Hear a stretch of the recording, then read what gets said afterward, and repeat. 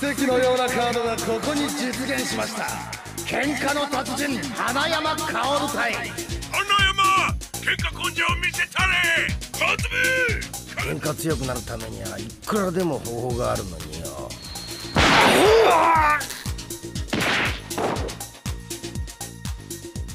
あの人の生き方見てたらよ。格闘技なんかめめしく思っちまってよ。両者元の位置へ暴力対武力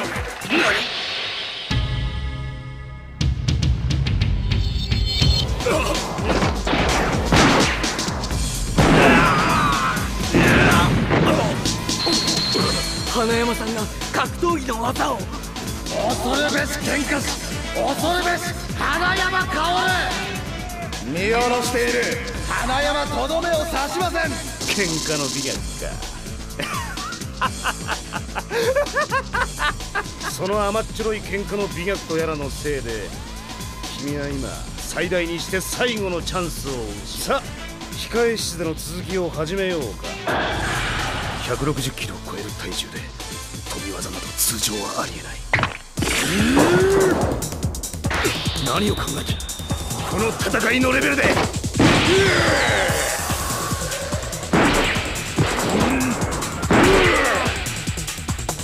蹴り足挟み殺し。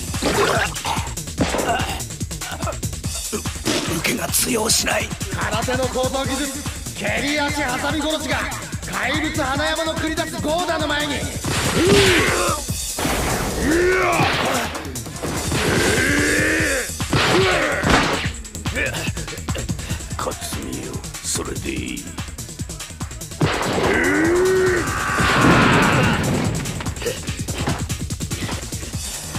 そうとも負けるくらいなら逃げる。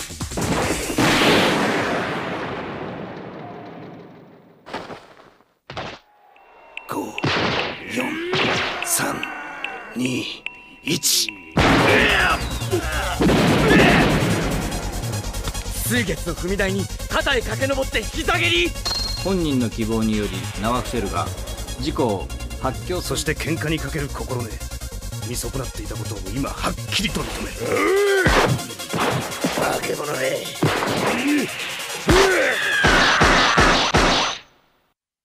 せ正中戦試練付き悪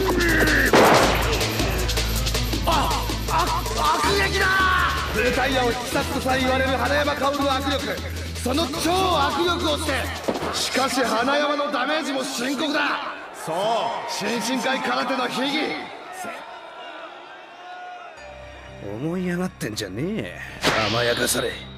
いい気になってリーサルウェポンなどと。おめえなんざどこにでもいるただの二十歳のガキなんだよ。まさか正面から殴り合う気か！俺は空手界のリーサルウェポンだぜ。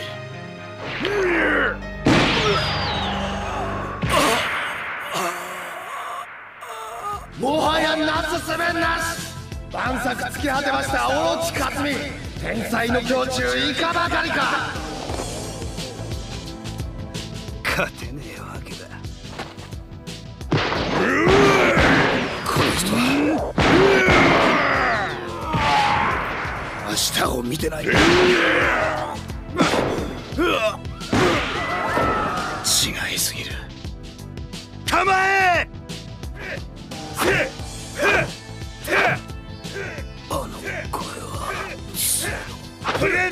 りあえず清潔状態つけ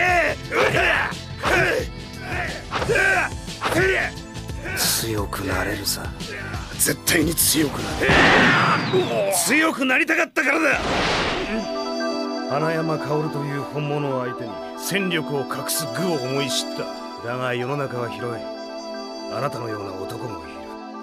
一切の訓練を拒否した誇りから生まれる闘争への自信。本当に強くすなわち父の仇ハンマー裕次郎。いい音だろ拳が見えない。足首から膝へ。膝から股関節へ。股関節から腰へ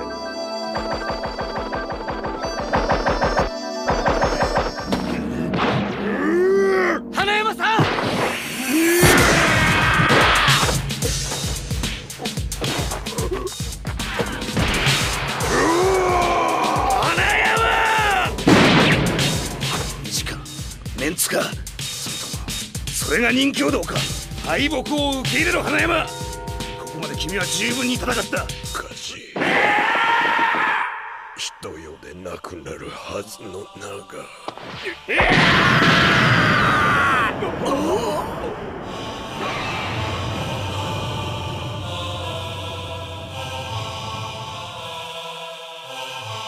元那2年如月当時豪農として知られた花山家は一粒種の弥吉をこの世に残すこととなる。幼子に寺の鐘をかぶせ我が身を盾に弥吉をたった人世の宿を貸し人世でなくなるはずの名が一歩も引かぬ男たち。とうに命は枯れ果てて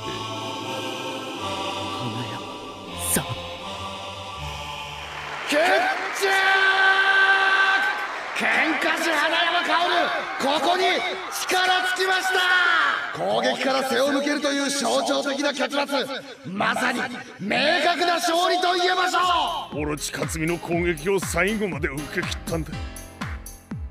二代目。かっこよかったぜ。負けたのです。まそれでも勝ちは勝ちだ。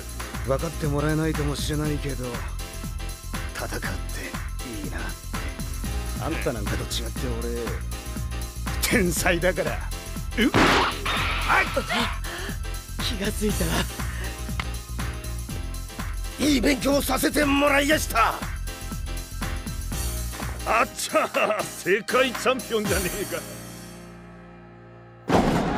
イアン・マクレガー対特攻隊長芝千春